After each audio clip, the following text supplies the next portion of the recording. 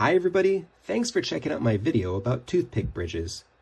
In this video, I'm going to show you how to build this truss-style toothpick bridge.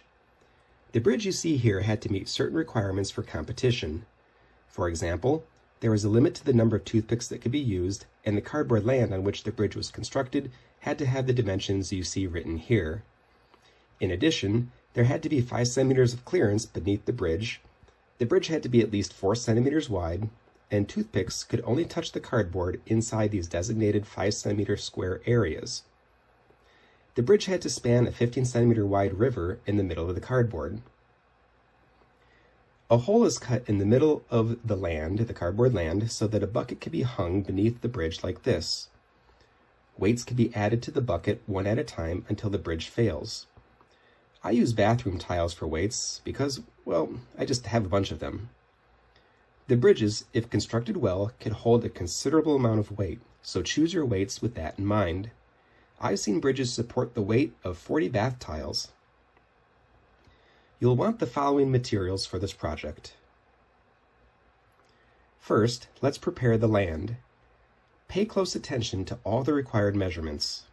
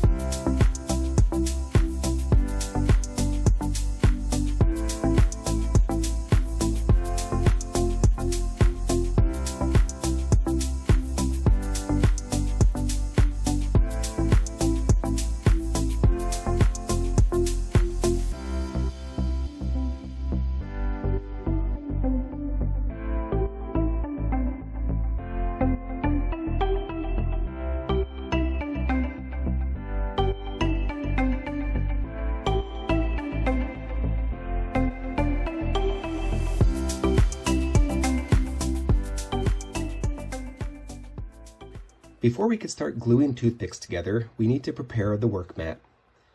We will be gluing our toothpicks on this mat. Use a large piece of centimeter grid paper or tape two smaller sheets together. Tape the grid paper onto a large piece of cardboard. Then tape wax paper on top. Make sure everything is flat against the cardboard.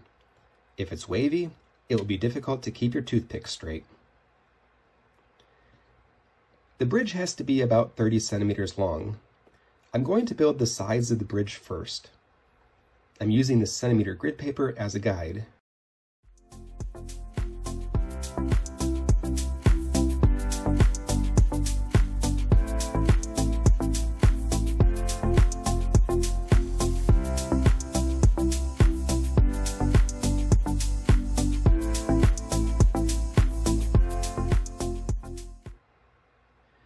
Tiny dabs of glue are all you need. Wood glue creates a stronger bond than Elmer's.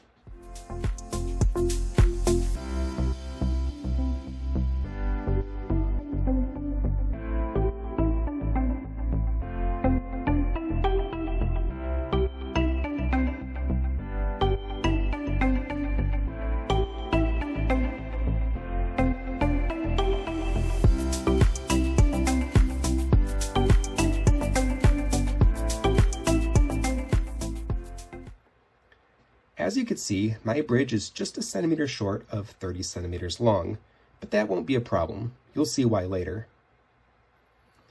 We need to build two sides.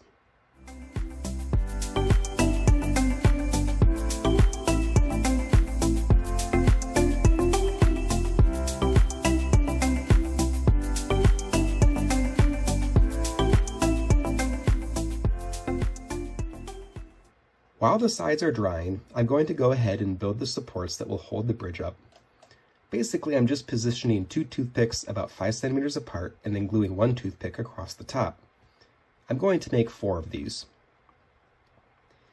Okay, well that's all we can do on day one.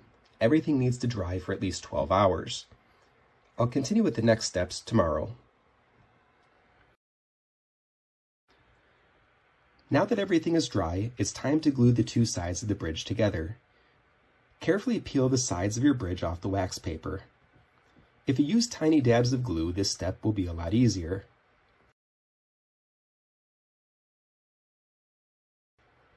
Find a way to stand the two sides of your bridge upright. Tape them down so they don't move. Glue toothpicks across the bottom and top.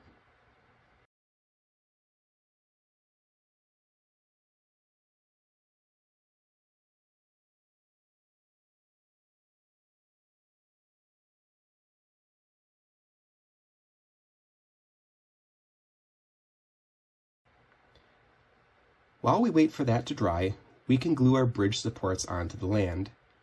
Poke little holes where the toothpicks will be positioned. Add a dab of glue and insert the supports.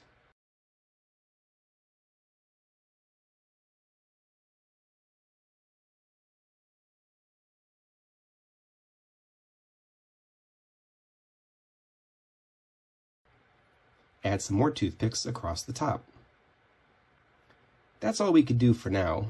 We'll do more tomorrow after the glue has had another 12 hours to dry.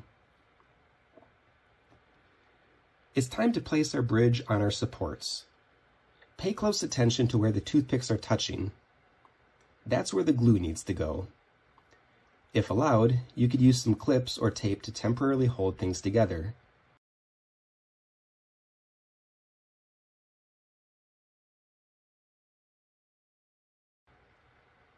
Now this is all we could do today. We have to let everything dry for another 12 hours. At this point, our bridge is mostly done. It's just time to think of ways to reinforce the bridge.